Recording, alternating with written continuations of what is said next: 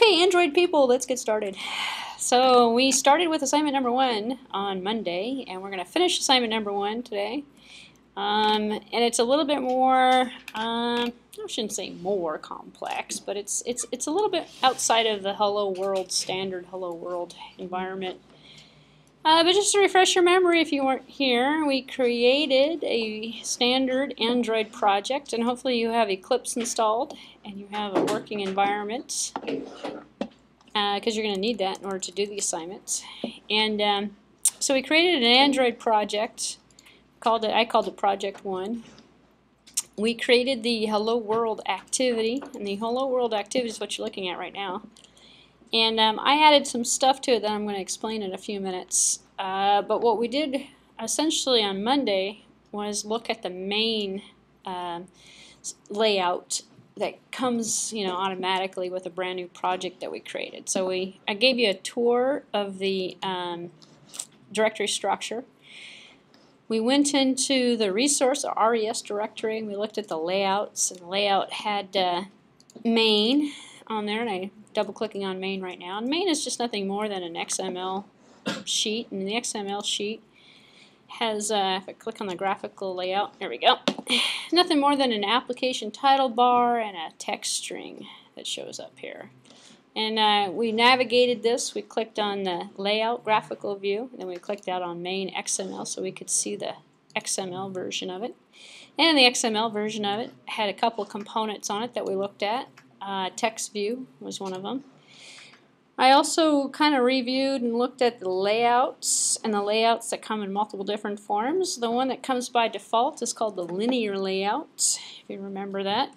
And uh, the assignment basically had us use a linear layout. And we actually got this for us automatically when we created the project. And then uh, we created another XML file called it name getter, and I think that's kind of like where I stopped, I believe. We dragged and dropped a few things onto the canvas.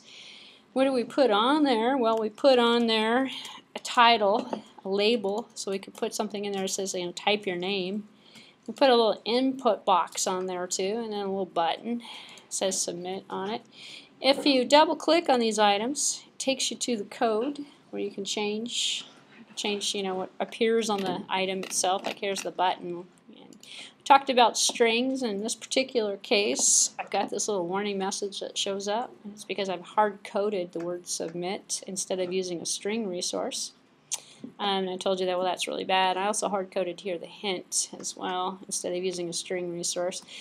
And uh, the reason why we want to use a string resources is because it makes it easier for localization, and we'll see that in the next couple weeks here, uh, where, you know, if we want to change the language, we want to change the verbiage, and it's the title of the program, we don't have to go through the entire program looking for all the uses of it, you know, every time we've used that same verbiage. Instead, we just change it in one spot, changes it for everything. Um, it makes it a little bit more um, efficient in terms of updating and stuff. And plus, if we switch over to language, well, we just switch over the string file, and we get a new, new set of words for every different translation you could possibly think of. And uh, I've got a little PowerPoint on that I'll give you later to give you the kind of the fundamentals of that. But um, that's why we use the strings. So I'm going to leave it alone because this is this will actually run just fine without the strings. But if you're curious about the strings, they're also in the resource and it's under the word values. So if you click on value values subdirectory, open up the strings.xml file. We see I've only got two strings here. One says app name, the other one says hello. And uh, if I switch over and I click on the other tab, I can actually click on here and I can edit it in a more user-friendly manner if I wanted to.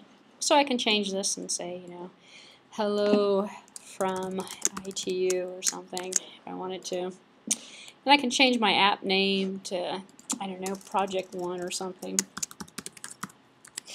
And uh, so I, I, highly encourage you to actually start playing around with the strings, create some strings. How do you use the strings? Well, you go over to the XML layout here. I'll just go to, hmm, actually, I'll just go to main real quick here. And uh, I'm not using any strings. Hmm. Okay, so I'm, I'm using, actually, you can use strings in the manifest as well. So if I go and look at the manifest, I see here I have the syntax for the string.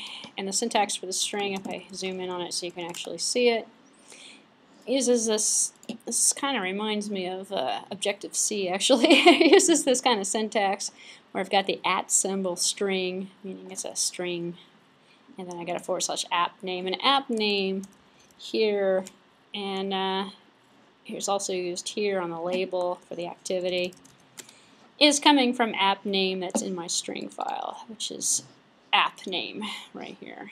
So I can kind of sort of see the relationship. Once you learn the syntax, you put the strings in here and you use the at string and then the slash and then the name of the string that you've created anywhere you want in the manifest, in the XML files. You can put them in menus. You can put, actually use that in the program too, in the source code. It's universal. It's a variable. Think of it that way. It can be used anywhere. And you only have to change it in one spot. So it's worth your while to venture out and kind of experiment with the strings. So. Alright, so how far did we get? We didn't get that far actually. We created the Android project, took a tour, I talked a little bit about all the different components. Drawable, if you remember, it already has an icon in there for you. A lot of people get creative, you know, on their first app and they want to put an icon in there. Actually, I'll, I'll show you how to put an icon in here because a lot of people are like, well, how do you put an icon in there? Well, you have to have an icon. If you have an icon, and I've got an icon out here somewhere, if I go to uh, my home directory, I should have the ITU, here it is, ITU PNG file. Huh? If I go, uh, actually that's a good question. It will down, it will actually scale itself. This one is 100 by 100. If I look at, take a look at it, I think 320 by 320 or 300 by 300. Don't quote me on that, but I think around the 300-ish is as big as you want to go. Because what ends up happening is it gets scrunched down, you can't see the details. Um, at one point, I think I did this for an iPhone app actually. I lowered the resolution because I needed it to look better for something. Um, the lower the resolution, the more clear it actually looks. But let's say, for example, I want this in here. What I can do is take and just add it in here. So if I've got IC Launcher, if I double click on IC Launcher, this is going to be that little Android character that's going to show up as my app icon for my program. And uh, if I want, I can just drag and drop. So I can take this over here, click on it, just drag it over here, and drop it. And this says, do you want me to copy it or do you want me to link it? I'm going to copy it in, actually, instead of linking it. Because what happens if the other one moves? So it's not going to take up that much space. It's just going to take and copy it from one location, put it into the other location. Where's the other location? If I go out to my workspace directory, I'll see it in drawables because I'll see this entire directory structure. And I'll show you that in a few minutes. So copy. Now I have an icon out here, which is the name of the file, and there's the ITU logo that shows up. And if I actually, if I, what was this called? This is called AP assignment number one. If I go out to my workspaces directory, which is off of my home directory, I should see uh, AP assignment number one right here. If I double click on it, opens it up. If I go into the resource directory, which is where all my resources are being stored, which is the same title actually out in Eclipse, and double click on it, I can see in this first drawable directory, well there's that icon. So if you don't want to drag and drop it through Eclipse, you can actually copy it in from a directory perspective as well. And let's say, for example, I don't want to use iclauncher.png and I want to use this one, well then I change it in the manifest. So let's go ahead and change it in the manifest actually. Um, so if I go back to the manifest here, and the manifest as I mentioned last time, this is kind of review as well, that uh, it sets the parameters, the permissions, um, everything that's going to be associated with the current running project. So it's kind of like the properties of the project if you think of it that way. So the project topic, or excuse me, the project title, the icon that's going to be used for the project, which is your finished program, essentially, all controlled by the manifest, as well as permissions in different parts of the project. And we're going to see intents actually today. Um, I talked about intents last time if you were here, and we'll see how that kind of works together. So instead here where it says application, and this is in an XML format, don't worry about it if you don't know anything about XML. This is all you really need to know. There's an opening and a closing tag, and all this stuff goes in between. And it's just like HTML, except for HTML is used for text markup, XML is used for data markup, and we define data inside of it. So we have an opening application and a closing application tag. Inside I've got Android colon icon, and it's in drawable, which is the directory here, just like string inside a string. So instead of using IC launcher over here, and we don't have to put the extension on there either. I could just go icon, call it icon. And then that's going to essentially use that icon file because I called it over here, it's called icon. So You don't have to do this for the first assignment, but uh, you know, if you want to play around with it, it's not a bad idea. Get familiar with it. And uh, we can see here that we have an activity started. And uh, it's probably not a bad idea to explain this stuff to you at this point as well. The default activity, when I first created this, actually said hello world activity, which because it was the only file that um, was included when I created the default project. Here, I've actually fixed this up for you so I don't have to type, you know, so make it a little, makes, makes it go a little faster as well for you. Um, I put the name get name. Well, the get name is actually this file up here, get name, and it's an object. So I don't have to put in getName.java or getName.class. Instead, the name of the object is getName. It's the same thing with Java, actually. When you type in Java space the name of the program that you're running, you don't ever put the dot .class in there. You always put in the name of the program. So it's the same kind of logic that works. So when this program starts, the first activity that's going to run is whatever activity I put in here. So I switched it, and I put in get name, and I'm going to go over this in a few minutes. I left the string alone for the label for the title bar, and I put the label as uh, app. Uh, this is the default app name that shows up from the string, as we saw before. And then we have this thing called an intent filter, and the intent filter is our way of communicating between different screens or different XML files. Um, the iPhone folks, they call it a storyboard, where we have one screen that comes up and it leads to another screen to another screen. It's kind of, sort of like a design concept, the storyboard, that goes from the process of or the flow of the application from one component to another. In Android, we call it an intent. And, and this is sort of what I went over. Actually, I did go over this on Monday.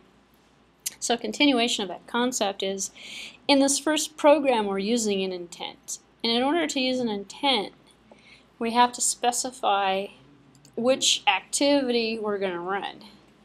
So in this particular program, we have two activities running. We have get name, which is going to turn into a get name object, which is right here. And you can see it extends activity. So now we just learned from the object-oriented programming in Java course that this is inheritance. So get name is an activity, and so is hello world. That's also an activity. It extends activity.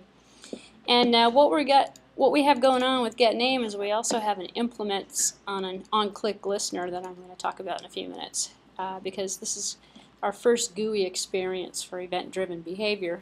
And uh, in order to get any event-driven behavior, we actually have to install or use some listeners. And um, it's kind of an automated process. It doesn't really take much more than extending a class, implementing something. But anyway, long story short, the concept I'm trying to explain to you is intents. So we have two activities, and this application that we're going to write here is going from one activity, and it's bringing up the next activity. And each activity, as we've got sort of seen here, is associated with a different layout. So we have a main XML layout and we have a name getter layouts. And so get name is name getter, hello world activity is main XML. But we don't actually have to say that because we're not really running the layouts, we're running the classes. We're running the objects of those classes. And in order for us to run multiple objects in the same program, we have to tell the manifest that we intend this one to run so we list the object. So going back to the manifest real quick here. This is all that we're doing. So we actually have two activities. We have, and we see it from the XML code, and I can actually make this a little bit better by putting it all on one line. But maybe you could actually kind of just see it the way it is. This is an opening and a closing activity tag. This is an opening and a closing activity tag. I didn't reset, you know, all the names and the icons and everything. You could. All the stuff here can be put into here as well. Instead, I just said the name is hello world.activity. The name up here is get name. So what we're doing is essentially saying that we have two activities. We're making them both known to the manifest so that they both can run. what's going to end up happening, and I can probably show this to you if you need, if you want to see it. Just take this line out, and then one of them is not going to work. Which one will work? Well, get name will work, but hello world activity is not going to work. It's not going to come up. And you probably won't see this until you see the big picture of the program running to actually know what I'm talking about. So let me go in and show you the rest of the program so you can sort of see the big picture, hopefully. so we uh, went through the steps. We took a tour. This is what we did on Monday. We took a tour of the um, different components of the app, the drawable, the layout, the values. Talked about the generation of these automatic files, the r.java. You know, no, don't edit those files. Um, the assets, we haven't looked at assets. We're going to look at those further in the course. If we have any files, HTML files, text files, anything that we want to add to the project, we put in the assets folder. And the assets are only visible to the currently running app. They're not visible to everything else. The manifest we looked at, and uh, project properties, which is just nothing more than a byproduct of the project settings, so you don't really edit that either. But you can look at the file. It kind of gives you a quick snapshot. So we actually built it, and I believe we ran the Hello World on the emulator. We got to the point where it would be running. If you just create a standard project, it'll run automatically for you. If you create a standard project and it won't run in an emulator, and you have the emulator corrected, uh, correctly um, created, there's something wrong with your installation. You should be able to, in fact I can just kind of do this right now for you. You should be able, and I'm going to close this up so you can at least have a, a way of testing your implementation. Uh, no, I'm not going to save this file. No. No. No.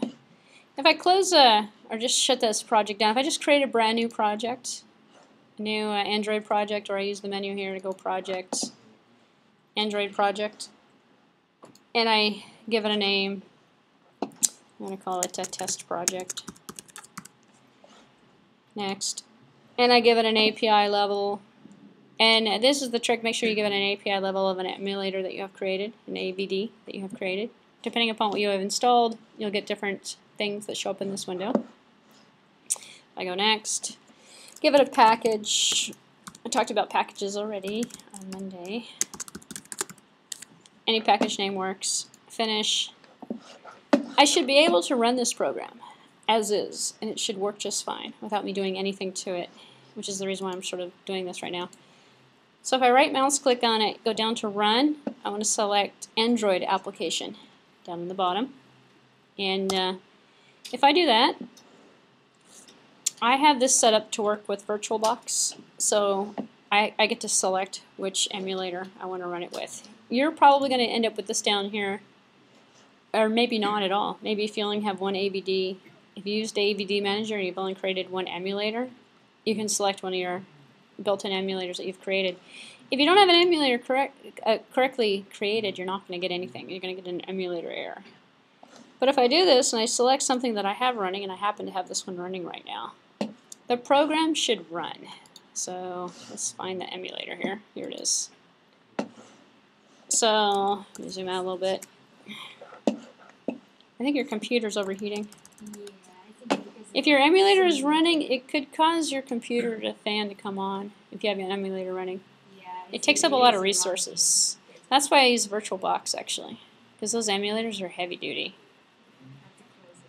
This is the results of the built-in project. If you don't get this, there's something wrong with your installation. If there's something wrong with your installation, don't try programming at this point. Go back and fix the install.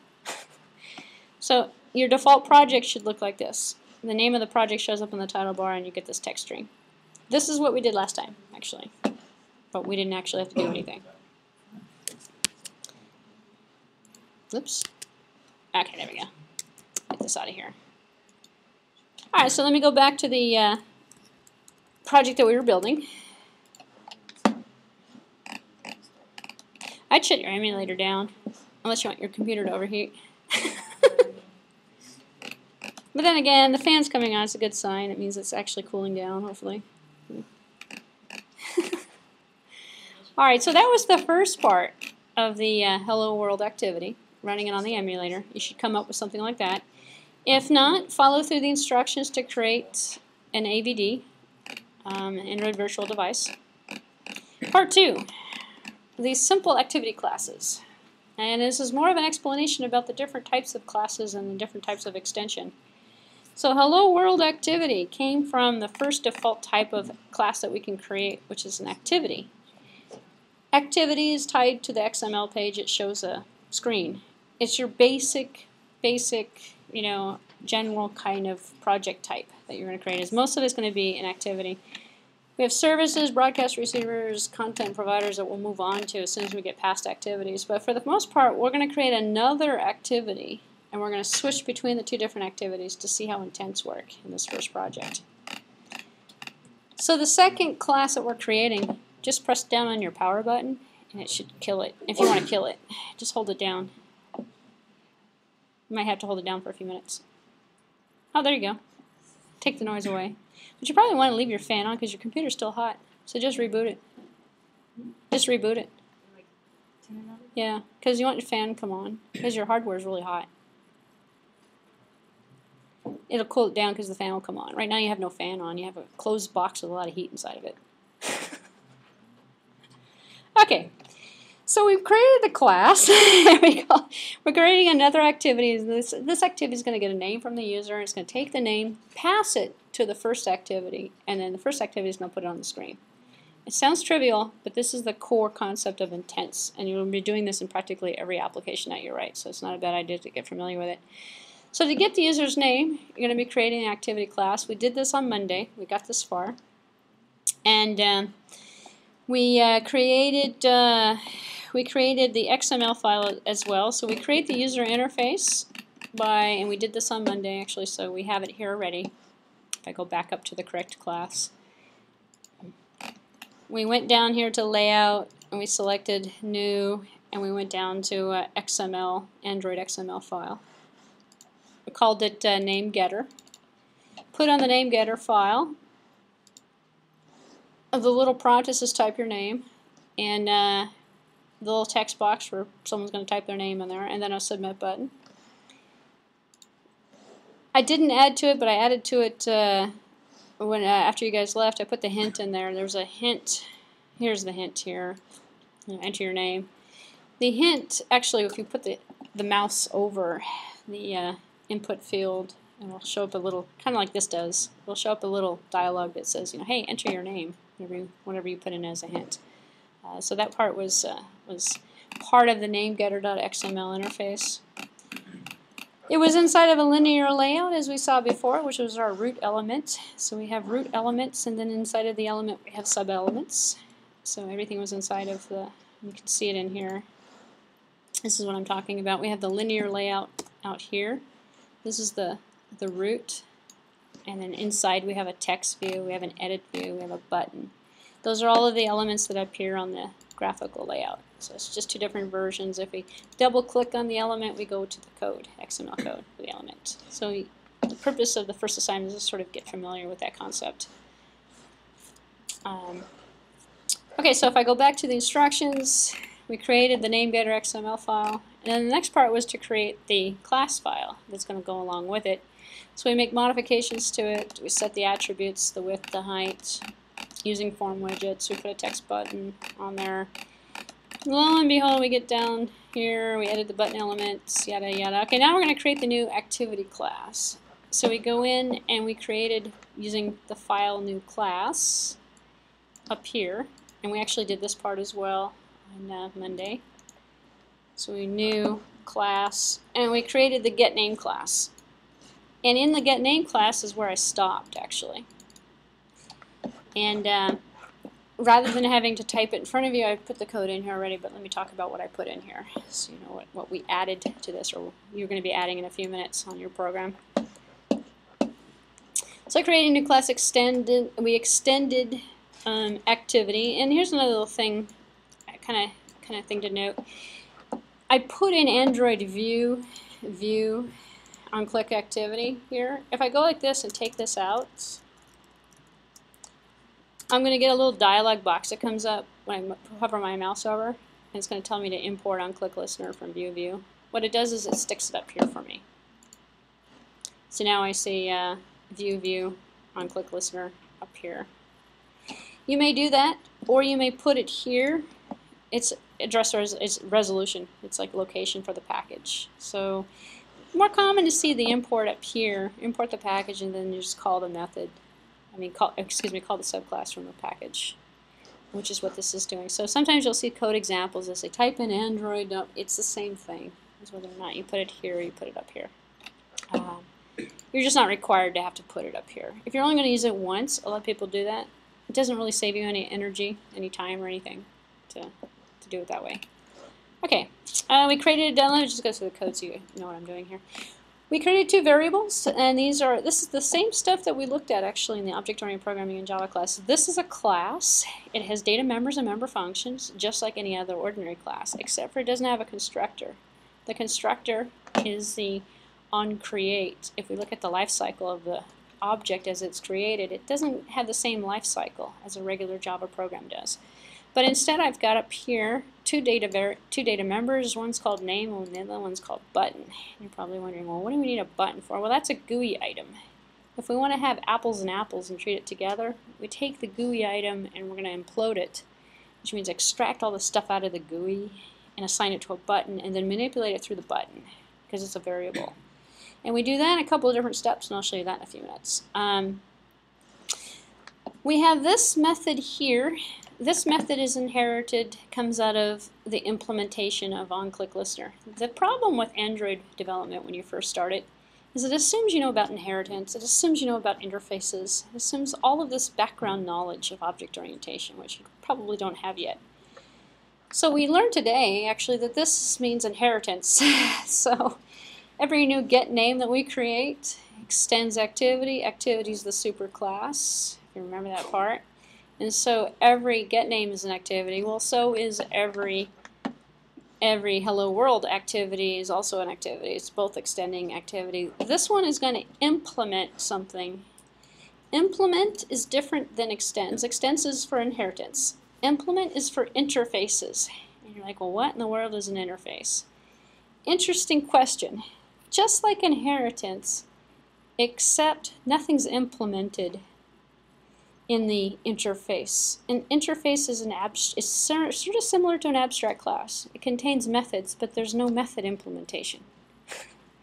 if there was a method implementation, we could inherit. We could actually extend it instead of implementing it.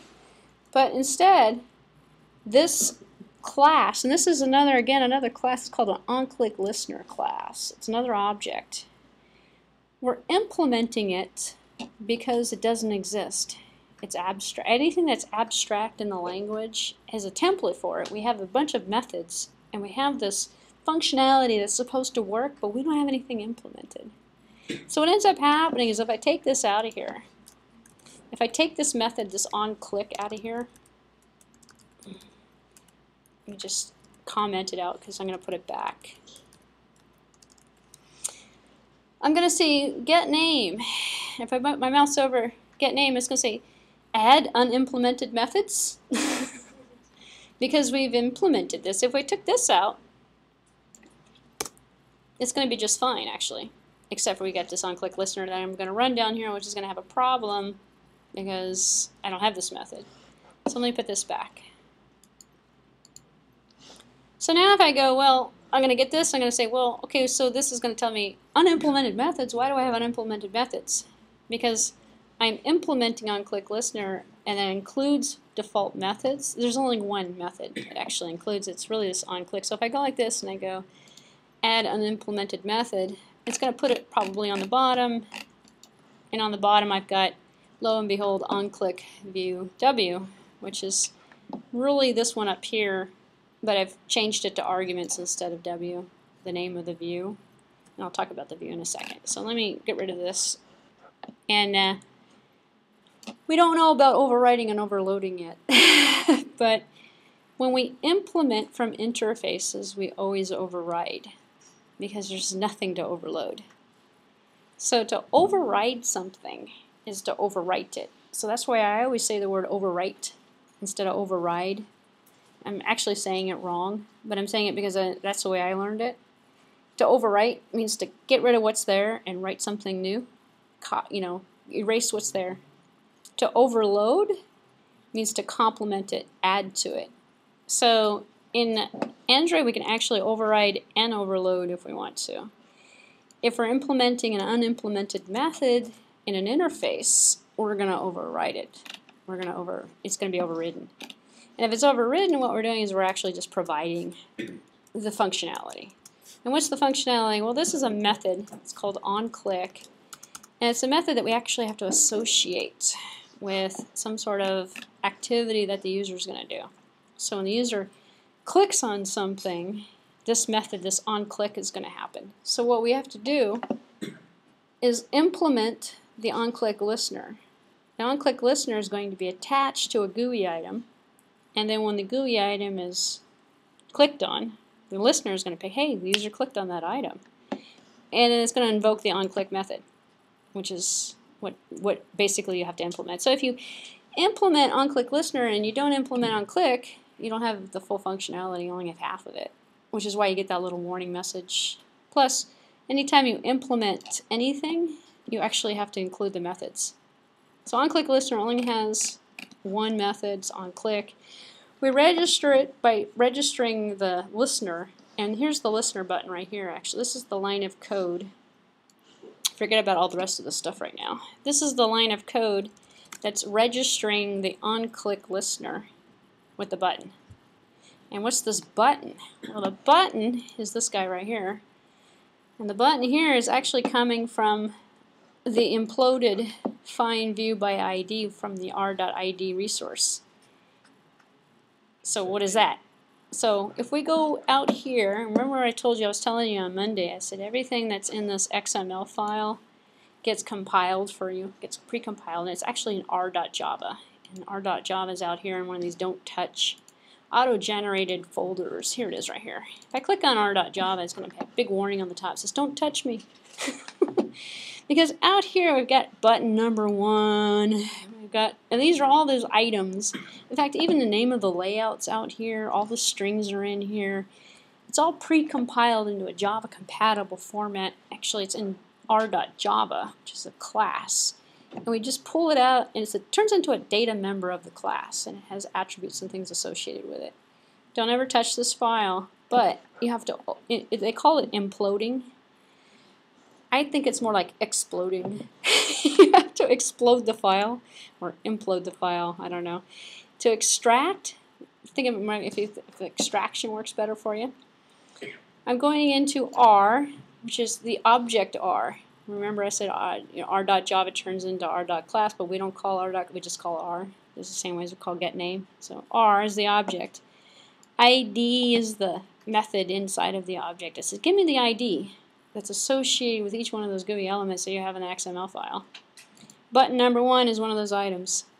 So all I have to do is remember what I called my XML elements. I called my button number one, button number one. So if I go out here, actually, and if I change button number one, which one is this? This is in uh, mm, button number one. Well, we don't, actually we're taking it from name getter layout, which I haven't explained to you yet either. Um, let me just look at button number one. It's the name getter.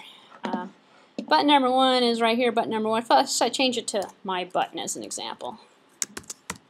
My button. Yeah, it's gonna it's gonna auto generate for me. Actually, let me make this a little smaller. I have to save it. Once I save it, it's supposed to auto generate for me. If it doesn't auto generate for me, I run clean.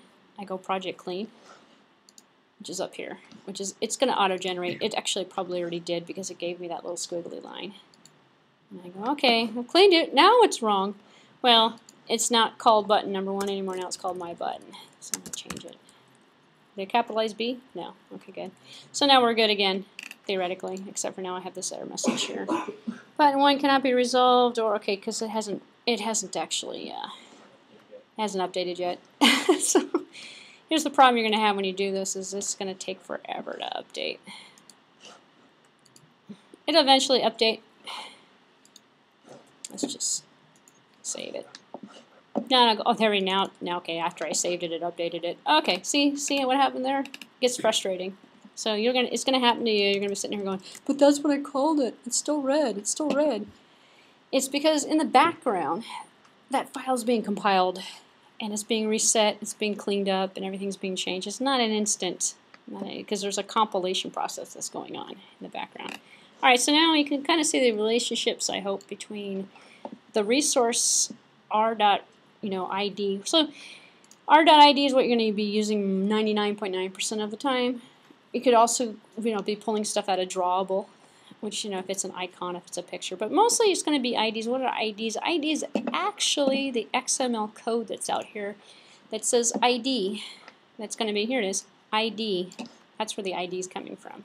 So anything out here, uh, we don't see drawable, but you can actually have a drawable um, uh, tag. These are tags in the with tag. Everything's actually in that r.java file. Okay, so back to here. so what have I done here, and how does this work? It happened actually up here in this line of code. So as I mentioned before, we don't have a constructor for, for Android. Um, instead, we have this life cycle, and I showed you life cycle on Monday. If you missed Monday's lecture, go ahead and look at the life cycle. It's kind of important to know. Life starts with the onCreate, which is sort of like the constructor. Constructor onCreate says, okay, let's let's create something. So we're going to call super dot on create. So those of you who are just in here for the Java class, this is what we're doing. We're calling the constructor on creates, and then a name for the constructor for Java, I mean for Android. And we're going to put the saved instance state. If we, we can actually get away without doing this, but you want to do this because every time your app runs, you want it to go back to where it was before. So if the app is idle, and the app comes back up, you want the state of whatever happened with the app to be saved. So it kind of gives you a more realistic kind of, you know, swap between apps. Otherwise, if every time this thing was created, it started brand new fresh again, you'd have no uh, imaginary kind of feeling of the thing running in the background or the thing actually existing. So this is de facto standard. Every program you write is going to have this in here. It's just a way of just safeguarding that the app just loads in the same state it left off in last time you ran it. Excuse me? It saves the state. Like on stop or Yeah. Yep. It's actually, you can call saved instance state from on resume. You can call this, the super on create from on resume, or from an on pause, or from on any of the other lifecycle states. This can be called actually to, to create, to recreate if the application needs to be reloaded. But when the application, this only loads once, just like the constructor, every time the application starts. This is calling the supers, supers on create. If you leave that out, your program is probably going to run. You're going to get some funky. You're going to get some funky results. It's going to like look brand new every time you load it up. It's not going to save any information. It's not going to look. Anyway, so what is getting the interface, which is kind of interesting? We have another built-in method called setContextView, which is part of, believe it or not, activity. So activity's got a context, and the context is the screen. It's the view of what is being shown to the user when the application starts, because there's this disconnect between the classes and the view. So we set the class when it loads to set the context view to the HT, excuse me, to the XML screen or to the interface that we want the user to see. Um, and this is way TMI for anyone who's like done this before, because it's like, well, you know, you don't really need to know all these incre- these details. However, can't talk today. It does provide some explanation if you've ever wondered. So r.layout, just like r.id, out here in the r.resource, r stands for resource, in the resource directory we have layouts. We can do the same thing with strings, we can do the same thing with IDs we saw down here. It means the same thing. Here we're saying name getter. Name getter. So when this class starts, the onCreate is going to load up name getter as the interface. That is how we connect XML files to class files. That's the, the hidden missing key that some people actually get confused with. This is generated by default. Not generated by default, no. The only thing that you get by default is this onCreate method. Inside it says auto-generated code. You might possibly get this line here, some of the newer APIs. In fact, we can create, actually we created a project. Hold on one second, I can tell you what's created by default.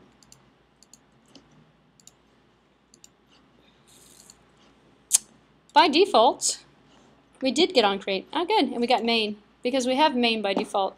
So this is actually good. I- Good. Good. You mentioned this actually. So by default, we're always extending activity. We need to extend activity to get on create actually, which is an implemented method from activity. We're inheriting it. We're going to get this by default. Leave it alone. Just leave it in there. This we can change. If we go out here, we look in the resource directory. By default, we always get main, and in the main layouts, here it is, main. We get that. You know, if I change this, if I go out here and I refactor and I change the name and I call it um, my name, I'm going to have the same problem I had a few minutes ago with that button. Except for it's going to take a little bit longer for this to show up. But eventually I can change it. It hasn't reset yet. Long story short, it's going to take a few minutes. but we can add, not a bad idea to create new layouts, not a good idea to keep renaming layouts because it gets confusing. So a lot of people will keep main and we'll just add new layouts to it um, when you want to new when when you, when you want to use a new layout. So we'll just leave this one alone actually because this is this is going to take a while. Depends on what you have running actually. So we know that get name here uses name getter and this is the same line of code. If you look at, we've got these two lines of code here. If I go into hello world activity, I'm going to see the same lines of code here. Actually, I didn't put the space in between. I've got set context view to this one. This class is using main. The other class over here is using namegetter as the XML file. I can switch them around. I can create a new one. I can call it anything I want. But I'm attaching this particular onCreate this particular class instance that gets created with this particular XML interface which is kind of a weird thing to kind of think about because you have all these classes and you can swap around the interfaces. You can actually take this guy and have him load other interfaces, set the context, keep changing the context view within the same class if you wanted to, which is kind of an interesting concept but hardly ever done because we want to use intents to do that instead. I'm going to show you intents in a few minutes. Okay, so what do we got here? I got two variables that I created, one called edit text name and the other one called, excuse me, one called name, the other one called button. They're of data type edit type. These are object types actually. And remember in the last class, I tried to show you, talk to you about upcasting. reason why you need to know something about that, this is upcasted. This is taking it and turning it into an edit text. This is the type of object that this is. If I wanted to, I can go here and say edit. I already have edit text, but I can say edit text name and get rid of this line right here if I wanted to. But, you know, it's like any variable. If I define it up here, it's more commonly located as a data member up here, and then I can reuse it over and over again because I'm probably going to use it more than once. But if I don't want, if I wanted to, I can come down here. If I'm only going to use it one time, say edit text, which is the data type. The variable name is called name. I'm upcasting this object to an edit text object. So I can assign apples to apples. If I leave this out, it's going to tell me that it's not an edit text. It's going to tell me something. It's going to say add a cast to edit text or change the type of name to view. Because this is really a view. If I do this, this is wrong. Now I have view name. It is a view. Because view comes from, it, it's the same hierarchy of the view elements, which is why this is a view. Of the view elements we have, we have boxes and edit texts and input fields and all sorts of different GUI elements that are part of view that get and view is the superclass. So if I take it and bring it to the superclass, a button, an edit text, everything is part of view. So I can actually send on click view is anything that's a subclass of view. So on our view we have but so I can make this on click element work with um, a label I'm going to have it attached to the button because it's the button we want to click. But any of the view items, it will actually cast, it will take the view item that was selected from the onClick, bring it to this method. This is the parameter that gets sent, which is the view component. And it's actually an argument. Excuse me, it's actually an array, but we only have one element because we only clicked on one element. You can set it up so it, it clicks on a group of elements. You can send the group to it if you had something, you know, some functionality that you wanted to use. But we don't want to use this as a view, we want to use it as an edit text item, so we change it up here. Actually, I'll just put this back. It's an edit text, and an edit text, we just have to worry about it here. So now I have got, uh, oh, I have to put edit text back in here to type, to cast it back. So this is edit text. Down here I've got a button, and the button, this is a button type. So up here I have the data type as a button element, which is also part of a view. So if I let this out, I get the same behavior. So view is the superclass of all of these view elements. If you look through the Android documentation, you see the hierarchy of the components. And I have it in one of the lectures further down the road, but if I showed you that first, you'd be what? I don't know. Maybe, maybe, maybe it won't make any sense to you. But if you think of it more like a hierarchy of classes, and these are, you know, we're going down, down, lower, lower, lower, lower, and finally we get the elements. and the elements are all the things, the GUI items that we're dragging and dropping and putting on the interface. And those elements are turning up into Java components because they're turning into the Java object, the R resource object that are getting compiled. So now what we have then is the explanation of the on create, which is saving, bringing it up, calling super on creates, setting this, we know what this is, right? This is our object. This is referring to ourselves. We actually pull set at. We can pull this out, actually, and it works just fine. But you're going to see it nine times. You won't get a, a compilation error at all. It's just like not saying this. In fact, I can do this. Same thing as we did with uh, the Java course. We can go this. it's basically you're explicitly saying this object's button, this object's name. So it's more common to see here because nobody realizes, oh, this is this is a method call. But how are we running a method call? Because the dot notation normally tells us, you know, this instance of the object, dot, but it's this. So people think this is clear. I don't know. I, I, no, I don't like to put it in unless it's really needed. But if I was working with the same name and I was having name come through here, I'd have to go this dot name because it would be a conflict in the name. It would match. So I have to say, well, this object's name. So this refers to the current object. Super refers to the superclass object in the hierarchy. And it's all object oriented. Okay, so on the button, we're running the set on click listener method and we're saying on this, meaning this object, call this object on the on-click listener. And what is this object? Well, this object's got an on-click listener. Here it is right here, on-click. And on-click is the method that runs when the on-click listener is called. And uh, this method in the implementation that we have, imp we're saying that this particular class implements the on-click listener. In our implementation, we have the on-click method. The on-click method takes the view item that we clicked on which is a view, but it's a button or a label or something. It can be anything, actually. You can attach an on-click listener to everything. That's a view component. Takes it in and says, okay, now what do you want me to do with it?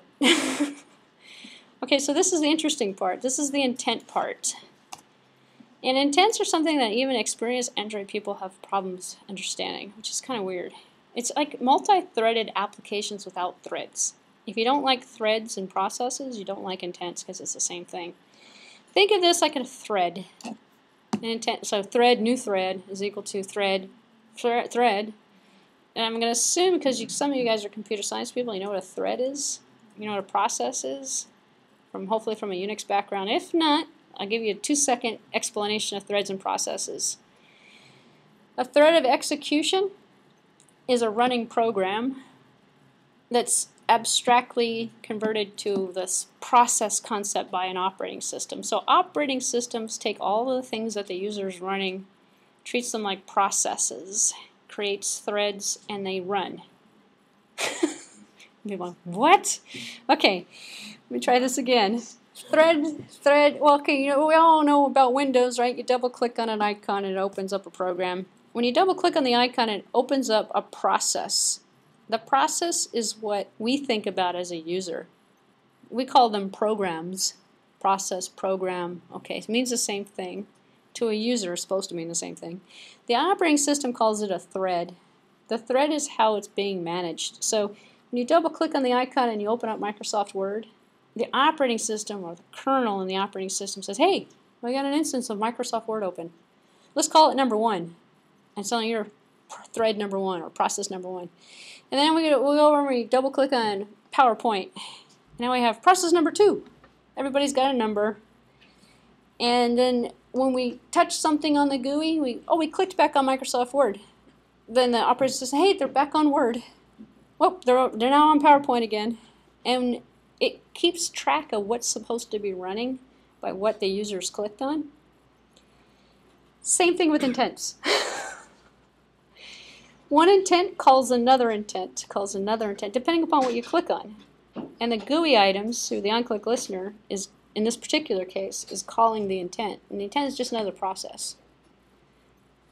So I'm going to mention intents over and over and over again for the next eight weeks. So by the time we're all done, maybe you'll have a glimpse of an idea. But if you don't even like the word intent, you don't even like the whole entire process, don't worry about it. Just take it at face value. Here we are creating a new instance of intent called my intent. This is the same thing as creating a temperature, new temperature, or any other instance of any object that we're creating. So we're saying intent's the object type. Oops, object type is intent. The name of the intent is called my intent. My intent is equal to new intent. What are we doing here? We're calling a constructor. Just the same thing as you saw in a couple, hour, you know, a half hour or so ago in the Java class. We're making a new instance of an object. This is all we do in Android, make new instances of objects. But the good thing about Android, we don't have to create the objects. Uh, if we want to create sophisticated programs, then we learn how to create objects. And we take object-oriented programming in Java, and we figure out how to create objects so we can create objects. But in this particular case, we're making an instance of an object that already exists. It's an intent object. The object takes on two parameters, me and somebody else. Who am I? and who do I want to call? Who do I want to create? So in this particular case, the first object is going to be this, unless you have something else calling something else. But nine times out of ten, it's this object that wants to call another object. What does it want to call? Well, we're right now, this happens to be the get name object, and the get name object is going to call the hello world dot class. Why they had the dot class in there? It's inconsistent. Well, yeah, that's why it's in there to tell you that it's a class. It's another object. Everything else in the Android implementation leaves out the dot class. like R leaves it out. Um, every you know anywhere you see it, even in the manifest, and you never put dot class anywhere. But for intents, you got to put dot class, which is weird. Yeah, it calls this object. This intent says, call this object and replace me with this object. So if I want to switch between objects, I use an intent. And the intent, I have to tell the manifest I want the intent. And what I do is I just register the activity. And I'll go back and show you that again. But what ends up happening is we say, okay, now I'm here. Okay, I want to go away. And in this process where I'm running right now, because Android programs, as I mentioned, uh, perhaps on the first night, maybe on the second night, one process per program. So you constantly have to keep swapping the process. Only one thread of execution. So intents are the processes. So you create an intent, new intent, and it takes me, swaps it with hello world activity.class. This is how we get the two class files to swap. And the two class files, one of them is going to load this XML file, the other one's going to load another XML file, works with two different interfaces. This is the classic design that every program works like. It's like the template that everybody uses. What's this next line? Well, if we want to pass information between the processes, we use the intent to pass the information. What do we want to pass? Well, we have one screen that's going to take in the user's name. We're going to take the user's name from an edit box and we're going to pass it to the next screen, and the next class. And the next class is hello world activity. The first class that's going to take in the name is get name activity. We, excuse me? Yeah, theoretically.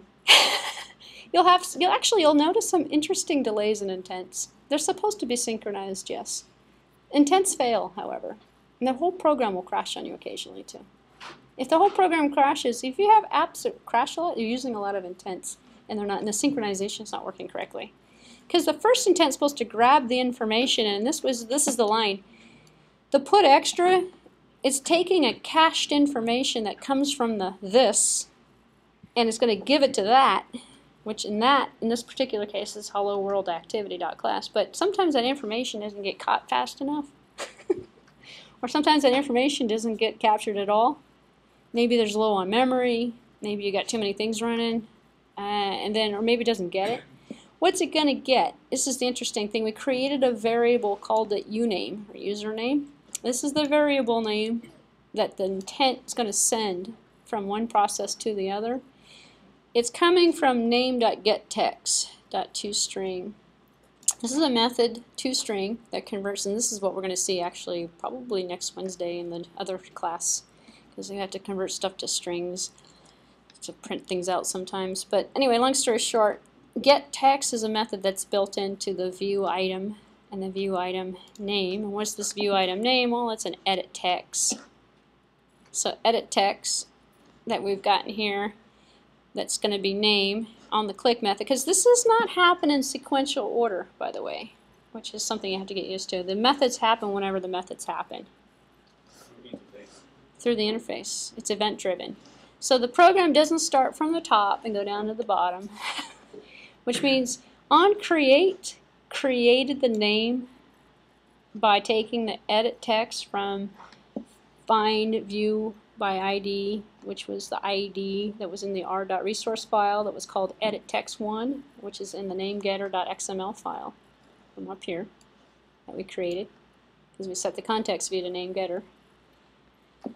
It took that, and now we're taking name up here when the user clicked on on click clicked on the view item, we got the view item, and we said, okay, what's the view item? Oh, it's this one. Okay, so, okay, this is the right one. We put the listener on because the listener's down here on the button. Was the button. If it's not the button, it's not going to work. So, because we put the listener on the button. It takes and says name dot get text dot name.getText.toString. Convert it to a string because uname is a string. As we, we told it it was a string, it's actually, believe it or not, this is kind of, you can, you can define uname outside of here, but it makes no sense because you're never going to use it in here. By the time this intent it gets put into the intent to be passed along the route to the new process that's going to start, it's never going to be used, which is why we don't have to define uname out here, which is kind of interesting. We just take it as a, it, it's automatically cast to a string, and we can, it's automatically string value. So if you try to send something else, if I take this to string off of here, I say, just give me the text. Ooh, it's not going to come up with an error message. it should come up with an error message. Well, it's not going to work because it's going to come out as garbage. It's not going to come out as text. So this is, this is, uh, let's, uh, what was it? Here, actually, let me just do this. Let me put it back. Undo typing, undo typing. Ah, there we go, put the toString back. That's interesting.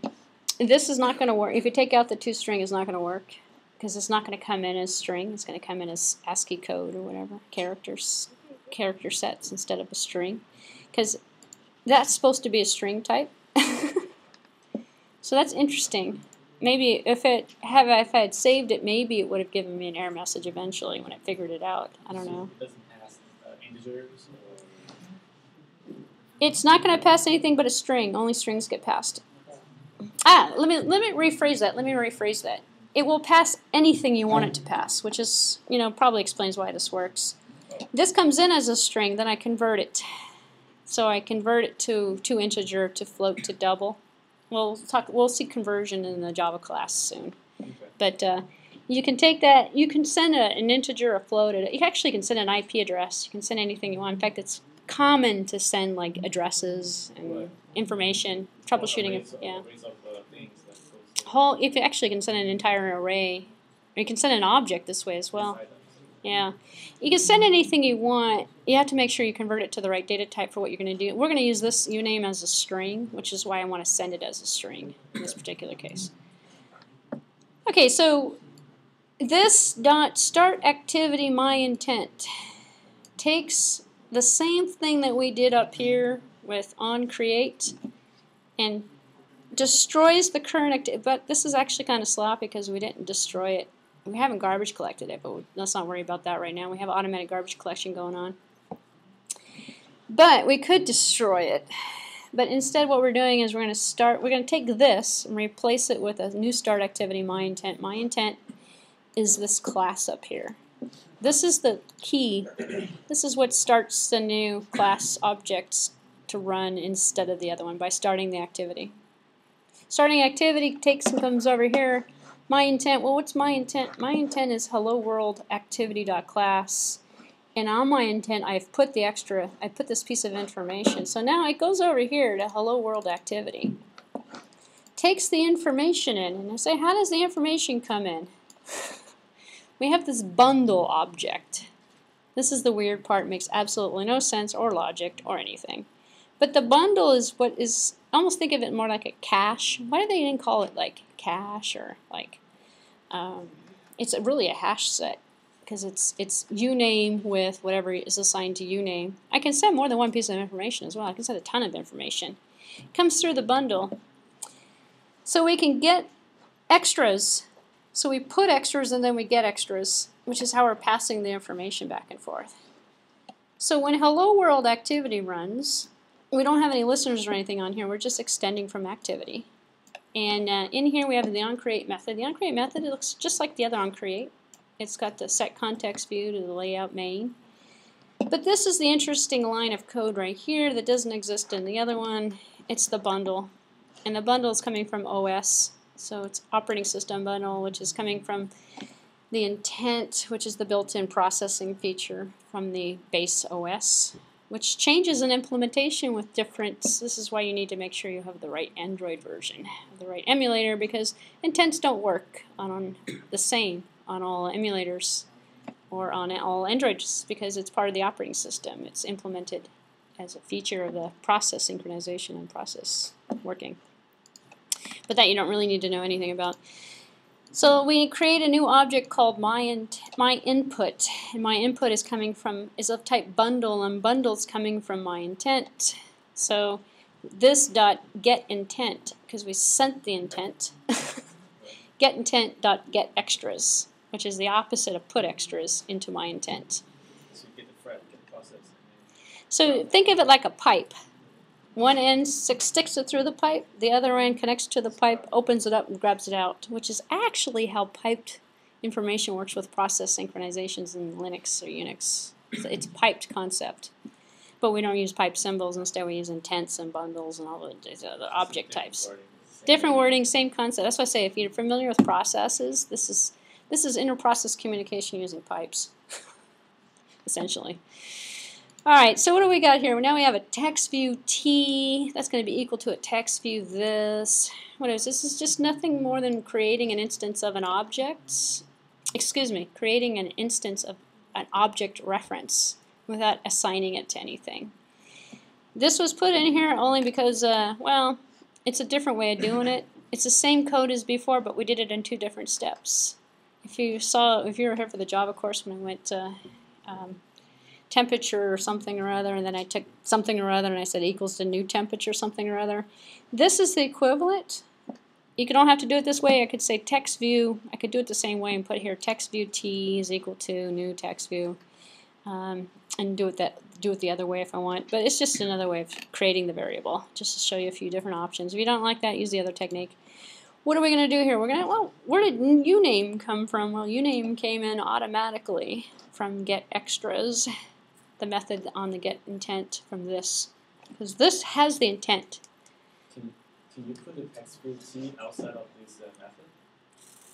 Just like the button and the Oh, yeah. text. Yeah, it could be put up here. But we're only going to use it inside the onCreate. There's nothing else for the program. It's kind of a simple little program.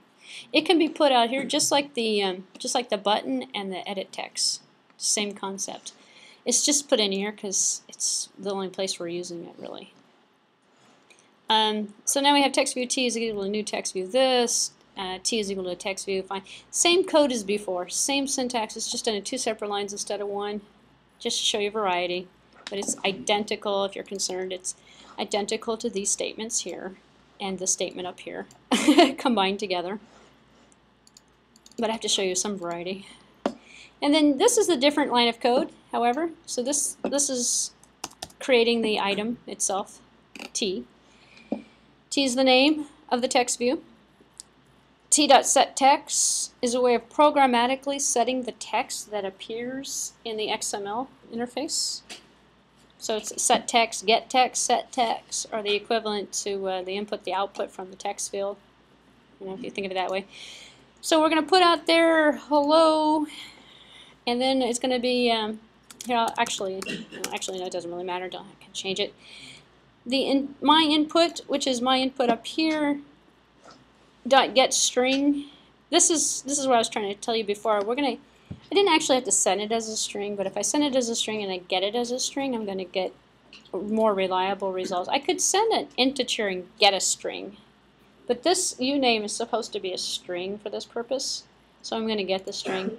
If I got integer, got float, got double, it'd get me the different formats. And if I sent it as a float, sent it as an integer, it would come in through as an integer, I get it as an integer. Huh? You just get less if there's more information. Yep, you can't cast it. Most people would send it as a bigger object and then shrink it if they need to shrink it. Or take it as an integer and then convert it to a string when you get it here by using a toString on an integer. And you're going to convert it. But basically, for this particular case, we're setting the text, and we need to set the text as a string in order for it to appear. So it's going to say hello, and then this is concatenation, the same thing we saw in the Java class. And then this is essentially the code that's going to take plus this item here, and this item here is our, um, oops, it's both of those two because we have opening and closing brackets for that one. Our get string, the new name that we came through. We can call it anything we want. Again, we didn't actually give it a name in here. We're not going to use it. So it's just for the purposes of the intent. It doesn't really matter. You don't have to define the variable and you know you don't have to declare it, initialize it, assign a value to it, and then send it to the intent. You can just do it all in one. It's kind of a sloppy way of doing it, but if you're not going to use it, you don't have to use it. Some people actually use uname, like you'll use it somewhere in the program, and then you can reuse it for the intent. So there's no restriction. The scope is global for the entire object. So it just comes. It's just like a regular old data member. So so what happens when we do this? Let's see what happens. Uh, when we run the program after all this, you're like, "Oh, is it going to run? And actually, for those people who are cheating, I shouldn't say it's cheating. For those people who need some a little extra help with assignment number one, you're looking at all of the code, so pause the video, write it all down. this is the, uh, what you're looking at right now is the Hello World activity, which is this one here. The other class that you're creating is this one here. This one here is called uh, get name. Get name is going to look like that. Obviously, your project is going to be different. Your uh, perhaps your package name might be different. Who knows? But this is the code for that. You can follow through the instructions on the README and probably create the GUI just fine. But your GUI is going to look like that. this is the name getter. Excuse me. This is main. Main is just showing a title. It's just showing a string. It has one text view. And these are the text view elements, actually that you're looking at. And then uh, name getter over here. This is a little bit more, you know, because it's got a text view, it's got a edit text. I didn't explain request focus, which is kind of interesting. Request focus um, is basically a single tag on its own, and it's basically telling you in the GUI to put the cursor here. So it's right underneath the edit text. So that I didn't explain, which is probably a good thing why I came here. So you can see actually in this GUI example here, you can see the cursor actually because of that request focus. If I took the request focus out, the user would actually have to click in the field in order for the thing. Now I'm going to get the request focus. So you're going to see this when you put web views and stuff down and you have multi-layered hierarchies, which we're going to get to. And then you're going to want, well, I want this to be in focus first. I want that to be in focus first, and then you can specify, you know, by default, what's going to be hit. Tab index or anything like that. Nope, no tab index. However, you, Can. You get the keyboard automatically. Uh, we'll see the keyboard actually come up. Um, so there's nothing, good point, good point. We didn't mention, this is the one good thing. Well, I shouldn't say one good thing. Yeah. One of the better things about Android versus iPhone, we can request the keyboard to come up. If we don't request, it comes up automatically. Anyway, we don't have to request it. And we'll get the keyboard because we need to be able to type it in somehow. So I'm not going to save any of this stuff. But what I want to do is run it so you can see what's going on um, in terms of the interface. So without further delay, let me run it. I have this running in VirtualBox, by the way, so your interface might look a little different. And I made VirtualBox really big, so you can see it. I made the font big. Yeah, it's a tablet, actually. Here it is. It's in the back. It's kind of big. If I start typing, my keyboard should come up. Whoops, if I click in here, type your name. Whoops, my keyboard does not come up. And this might be a scenario with this particular emulator. The keyboard should come up. So why the keyboard's not coming up, I don't know. But theoretically, in other emulators it does come up. So when you were typing in, there's only one way of getting it. So so I've uh, typed in my name. Now here's here's the so when I press this, this is the on-click method is going to perform because the on-click listener is attached to this button. When I click the button, it automatically seamlessly loaded, unloaded the previous class, loaded the new class through the intent, sent the word Barbara that was in that edit text in the bundle called uname. We took uname and we said hello, you know, plus get get that information from the intent and it printed it out on the screen. So if I were to well, it's going to be the same. I was going to say if I were to switch task switch and come back to it, it would take the state that it was currently at, so Barbara would still be in there, actually. If I, were to, I don't know how to swap with this emulator. In fact, I don't think this emulator is going to support it. But uh, theoretically, if I had this program running and I went, I can't get the menu actually. Um, if I had a button there, actually I can, wait a minute. I can go, this program is running, and uh, if I go home, and I go back to run the program again, oh, and you, you can actually, where's my program? It's called, it's not called ITU Mobile, it's called Create another lesson. Project something, AP something. Or maybe it's called Project 1. What did I call the sucker? Well, if I loaded it again, it would load another instance of oh, Hello World. I think it might be called, no, oh, I thought I changed the icon. It is Hello World. Oh, there it is. What happened was I was demonstrating the on-saved state. So if I take that line out and I do the same thing and I come back here, so the program is actually still, it's paused. So when the life cycle comes back through and says, well, what's going on with this program? It's going to bring back the state that it was previously saved at instead of loading it fresh. If I take that line of code out and I go back and I load it again, I thought I changed the uh, icon though, but I still have it here. Maybe I have a different version. You can see my name is still in there. Cause, oh, here's the, here's the keyboard. I don't think you saved it when you edit the XML. Oh, maybe I didn't save it. I could have clicked out of it without saving it. I probably didn't. You're probably right. I, I changed it, but I didn't save it.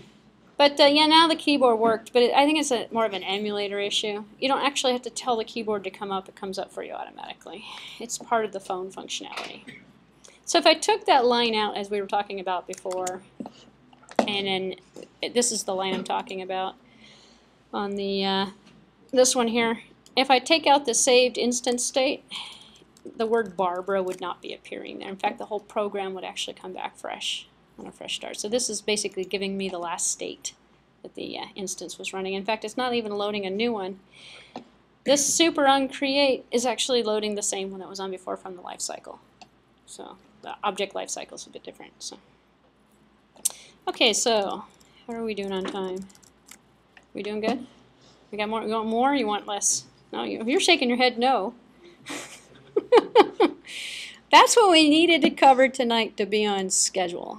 Uh, that is actually assignment number one. Uh, There's a couple more things I want to show you though before I, I end. I'll end soon. I'll end soon, but I want to because we're not we don't have Monday. We don't have class on Monday, so I want to make sure I get us slightly ahead of schedule just in case. So the next assignment requires uh, something else from you. And you're going to go, huh? How come I have to do that? You have to create another Hello World assignment. However, it's extremely easy. but I want to give this to you just in case you're going to spend some time between now and next Wednesday working on stuff, which is not a bad idea because we only have eight weeks in this class. So now that you're armed and dangerous with this first program, you can go online, look at the video, and copy the code and get it all done. You're going to be looking at assignment number two next. Assignment number two is hello testing and hello localization. And uh, what I want to point out here is if you click on this link here, it's going to take you to the developer site. If it doesn't, here I can copy. Hold on one second. Let me take you to the developer site.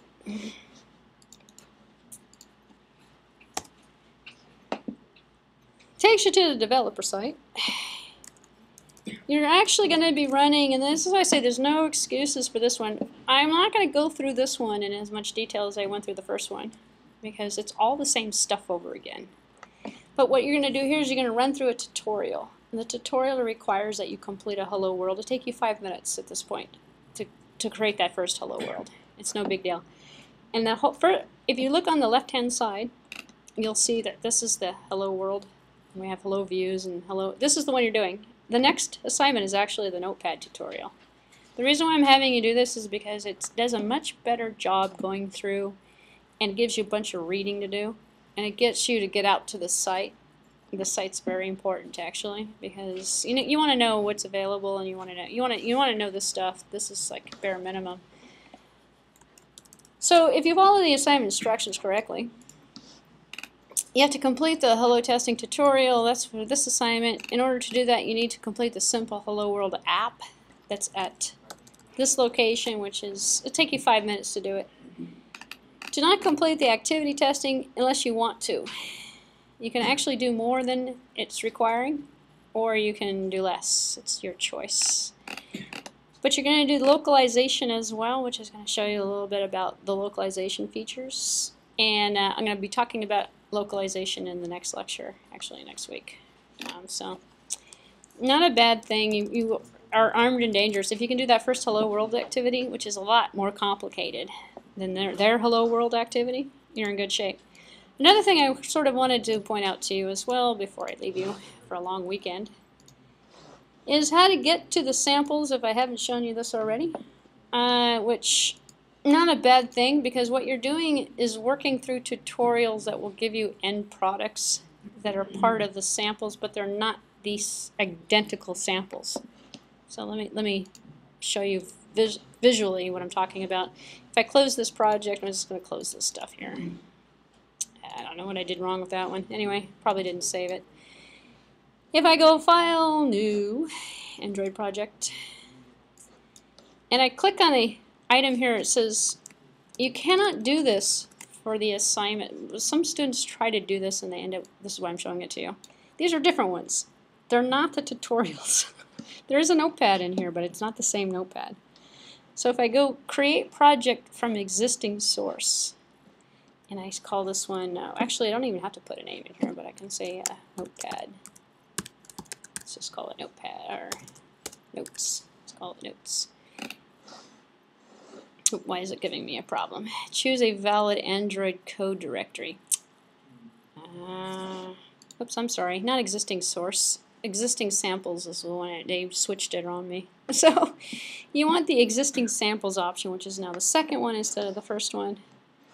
If I go next, I'm going to select the API version that I want the existing sample for, which is going to be 2.33 in my case, because that's the emulator that I'm using. Next. This is what I'm talking about. These are the code samples that are on the Android developer site. I showed this to you once before, but now that you're more, you know, hopefully adventurous, now that you're going to start looking at the stuff more in detail, Notepad is going to be very similar to the tutorial that you're building in the third assignment. So it merits a little peeky, you know, peek at it a little bit. So click on Finish. What you get over here on the left-hand side of the screen here is uh, Notes, which is the project I created. And if I go into Notes, I can look at the source code, and it's from examples. This is how I'm going to know, actually, because the folder file format's different, the deliverables different. This is not the same program. However, I can run it and I can see what the program does. And I've essentially built a project at this point. And uh, let me zoom out so I can see. Did I shut my emulator? I think I may have shut the emulator. Oh, don't want that emulator. Uh, I, I closed my emulator. But if you run the program and run this, it'll bring it up in your emulator. You can go through, and I highly encourage you to start looking at it because what you're going to see is the same thing I just went kind of through, but you're going to see different components. And the, if you learn by example, in my opinion, the best way is going through those samples because everything possibly imaginable is in those samples. And you have access to all the code. You don't have to go out there to the internet and do a search. And you don't have to download stuff and import it in. Um, if you weren't doing it this way, you'd have to use the project import features. If you go over here and say import, a lot harder to import existing projects from source samples and things. Because if you double click on it, it's not going to open it up correctly. you have to import in and then save it and set your configuration. And then have it work with your emulator and then you're going to discover, oh, I don't have that emulator or I don't have that API level. So the uh, so code samples are API to API. So it depends on which API you're using as to which samples you're going to load in. But at this point in your Android experience, you should be able to look at the samples and at least run them and see what they're doing. And then it's not a bad idea because there are a lot of them are very advanced, and it's like um, gives you baby steps to a you know better direction. The other thing I wanted to show you, which I still have time for, is I brought in my device. By the way, And my device, um, and I highly recommend not necessarily a requirement for this class, but eventually if you want to do some serious testing, not a bad way of seeing it actually work on the device, but a lot of people go, how do I get it to the device? Well, if I click on my device, you can't see it, but it says USB connected. I have it connected to my computer via a USB cable. If I click on connect storage, and your device might actually have a separate maybe a slightly different form. I might connect, automatically, might not. This is a Galaxy tab. You see on my screen here, I've got, let me open this up, make it a little bit bigger. Looks like a USB disk. it is a, it's a flash disk. And in this no name actually in here. No name actually has some APK files in here. Actually, this is from another project. So if I go to Eclipse, and this is the easiest way of doing it actually if I loaded, it as an example here, let's go back to uh, AP assignment number one that I closed. If I go and I click on the bin directory, I see this file here, AP, whoops, AP-assignment one. It's the same name as my file, as my project name. It has an APK extension on it. And the biggest thing is how do we get it to the device? Not so hard. Just drag it over and drop it on the device. It's easy. Yeah, no, no iPhone, No. Apple Store, no license, no certificate, nothing. Drop it on a device, eject the device. So you just sit here and you go, okay, let's say eject the device. Oops. And unfortunately, you're not going to be able to see this part on the computer. But if I come back, I get this thing on the top that says preparing SD card, scanning new media. I can actually thumb down on it and I can install it from my notification menu if you have it set up correctly or I can use a file manager on here to go to the SD card. Just press on the icon and it'll run through the install for you and it will put the app automatically on your device. It's very easy very easy to do. In fact here I have this it's called Linda Manager. In fact if you have an Android device and you want to download this on your device go to it's a file manager open source. Oh this is cool. A Linda uh, what's it called? Linda Manager. Here it is here this is the icon for it right here actually. It's from the Google Play. If you've got a device install Linda Manager it's free. It's just like File Explorer.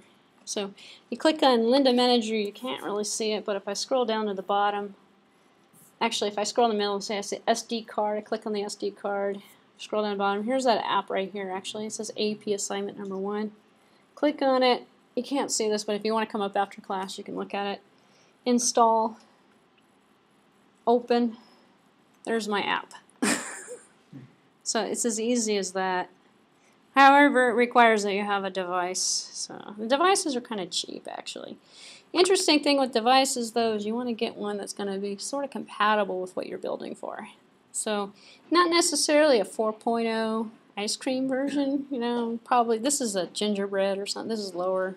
Each one of the devices has a API level on it. The API levels are the SDKs that you're installing, the emulators. It's the same as the emulator, except for this is real. You can carry this around with you. The emulator, you can't. Also, the reason why you want a device eventually is because this supports Bluetooth, the internet, USB, uh, other programs.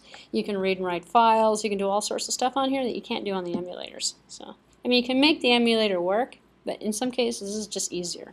So, all right, I'll leave you with that. We are done for today. so, enjoy your uh, day off on Monday. We don't have we don't have class on Monday. It's a holiday, but I'll see you Wednesday. And if you have problems getting a device, or if you want to see this one, I'll leave. I'll stick around. You can play with this if you want. So.